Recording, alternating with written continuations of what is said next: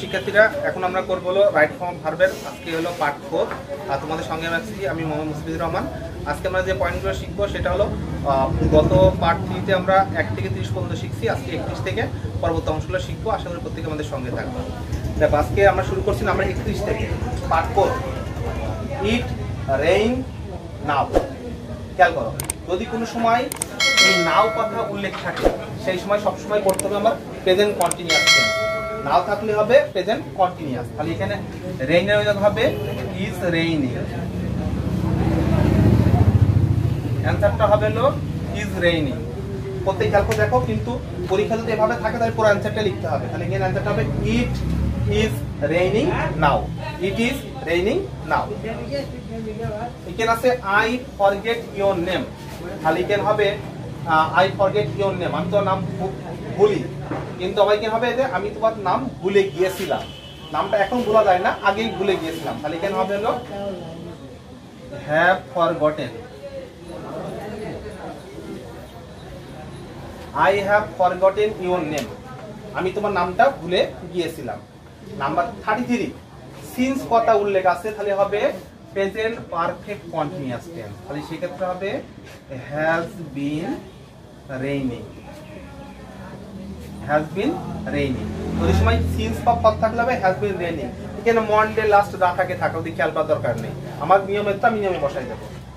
It is time we go there it is time যদি কোনো কথা উল্লেখ থাকে, তারপরে সবসময় ভার্বে দুই নম্বর ঘরে বসাবো।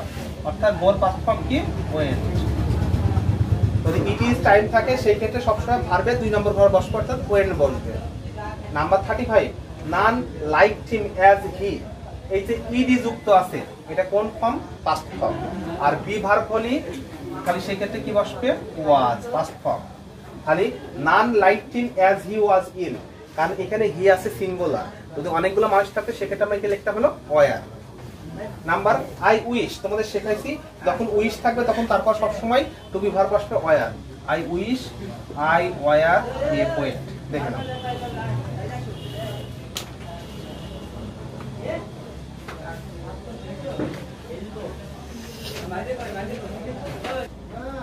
এবার আমরা শিখব নাম্বার থার্টি সেভেন থেকে।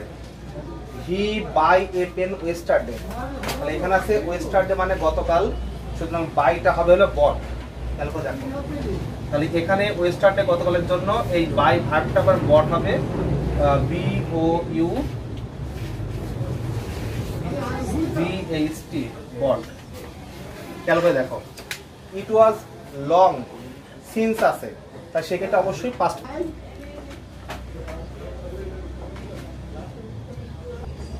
তাহলে এখানে সিন্স আছে, সেক্ষেত্রে হবে পাস্ট পারফেক্ট তাহলে এখানে হবে হ্যাড মেড এক্ষেত্রে হবে হ্যাড মেড অর্থাৎ পাস্ট পারফেক্ট টেন্স যদি since sorry present perfect tense যদি সেক্ষেত্রে আমার সিন্স থাকে।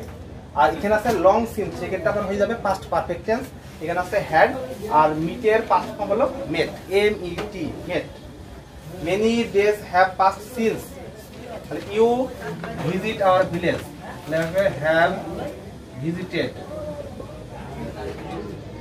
you have visited our village many days have passed you have visited our village number 14 where dash you go now আর এখানে আমার হচ্ছে হলো where are you going now where are you going now? তাহলে এই জায়গাটায় যে তোমার নাও কথা উল্লেখ আছে সেটা প্রেজেন্ট প্রেজেন্ট কন্টিনিউয়াস টেন্স হবে।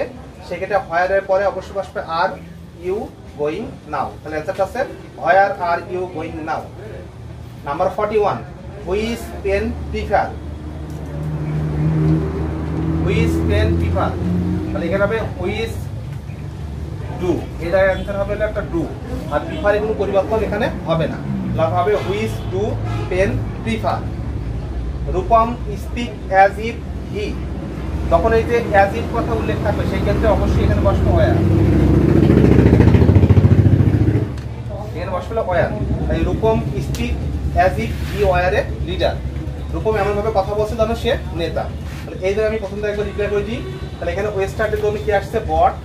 আর লং সিন্স জন্য সেক্ষেত্রে আমার আসছিল past perfect had made R many days have past since সেই ক্ষেত্রে আছে ইউ এর পর কি বসে প্রেজেন্ট পারফেক্ট টেন্স হবে হ্যাভ ভিজিটেড আর তারপরে আছে এলো হোয়ার আর ইউ গোয়িং হবে, যেহেতু নাও আছে, এটা- হবে প্রেজেন্ট কন্টিনিউয়াস টেন্স আর এখানে আছে হুইচ ডু পেন প্রিফার আর রূপম স্পিক অ্যাজ ইট থাকলে সে সেই সময় তুমি ভাবি সে সবসময় কি বাস পেল হোয়ার তাহলে এবার আমরা তো পরেগুলো অংশগুলো শিখতে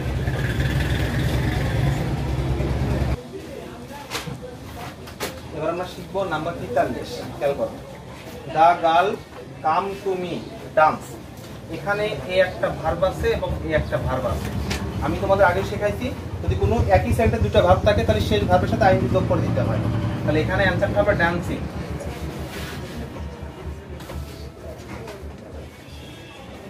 দ্বিতীয় ভার্বের সাথে সবসময় আইন যোগ করতে হবে ডান্সিং হবে। We should speak the truth আমাদের উচিত সত্য কথা বলা। এটা একটা চিরন্তন সত্য। সেক্ষেত্রে এখানে স্পিক স্পিকই থাকবে। কোনো পরিবর্তন এখানে হবে না।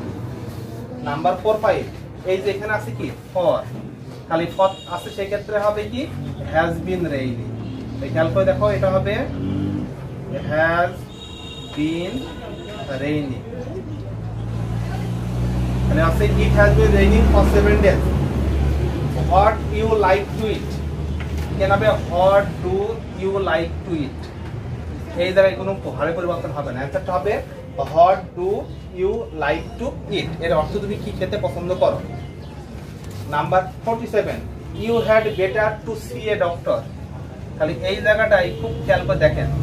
বেট এখানে হ্যাড হ্যাড এবং সি দুইটা ভার্ব কিন্তু এই সির সাথে কখনো আইএনজি যোগ হয় না। মাত্র এখানে সিং কখনো হবে না।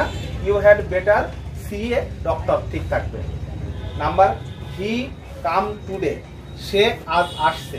এই টুডে কটা উল্লেখ থাকলে সবসময় প্রেজেন্ট কন্টিনিউয়াস টেন্স হবে।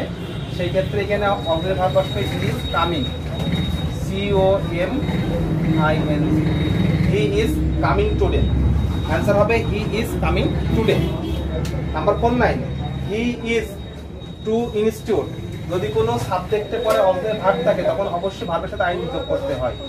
He is going to institute যদি কোনো সাবজেক্টের পর অগ্রে ভাব থাকে, সেক্ষেত্রে ভাবের সাথে আইনটি যোগ করতে হবে কন্টিনিউয়াস ফর্ম করতে হবে।